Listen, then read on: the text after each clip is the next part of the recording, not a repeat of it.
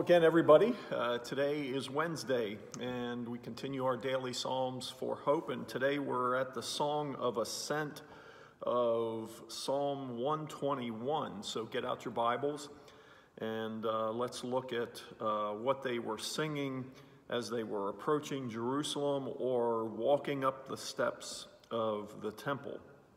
Here's what it says Psalm 121. I lift up my eyes to the hills. From where does my help come? My help comes from the Lord who made heaven and earth. He will not let your foot be moved. He who keeps you will not slumber. Behold, he who keeps Israel will neither slumber nor sleep. The Lord is your keeper. The Lord is your shade on your right hand. The sun shall not strike you by day, nor the moon by night. The Lord will keep you from all evil. He will keep your life. The Lord will keep your going out and your coming in from this time forth and forevermore. Well, this is this is uh, this is an outstanding uh, psalm. I use this a lot uh, when uh, with people uh, who are nearing life's end uh, to just let them know that the Lord is with them. But it can also be a, a wonderful psalm when you're overwhelmed.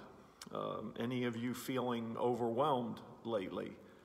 Um, this is a perfect song to recite uh, when we're feeling overwhelmed, when life sort of has us uh, by the belt and just kind of is dragging us along. Uh, and uh, what a what a wonderful way uh, to kind of look at, at, at things. Uh, because typically, when we're overwhelmed or when we're uh, in that state of mind, uh, our tendency is for our eyes to keep looking at that situation and dwelling on it, letting it, uh, letting it eat us from the inside out, and letting it get to us in terms of sleepless nights and, and, and just overall anxiety. Um, but the, the psalmist is saying, uh, that's not where I'm going to look. Uh, when I'm overwhelmed, I'm going to be looking in a different spot. I'm not going to be looking at what overwhelms me. I'm going to be looking at who can get me through the overwhelming situation. And uh, that's the first part of this. I lift up my eyes to the hills. I lift up my eyes. It's not looking at the situation, it's looking to the Lord in that situation. Where does my help come from? My help comes from the Lord.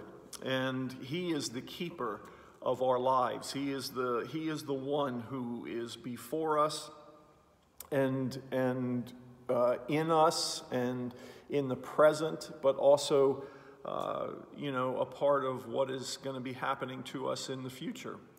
And uh, to know that this God uh, is, is there all the time and understands everything that we're going through.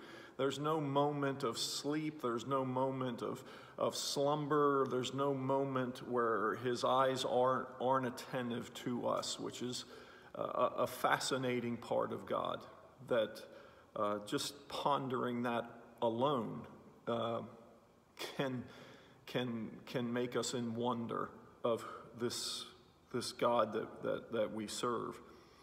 Um, but if today is one of those days where there is an overwhelming uh, sense of, of junk uh, that, that you are facing, um, get your eyes off of that situation and look to where the psalmist is looking. I lift up my eyes to the hills.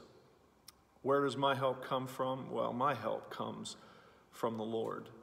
And he, will, he is with me, He is my keeper, and He will be in, in every part of my life. And that's where we look uh, when we're overwhelmed. That's where we look uh, when we're feeling despair uh, and when life's got us down. So I hope that helps today.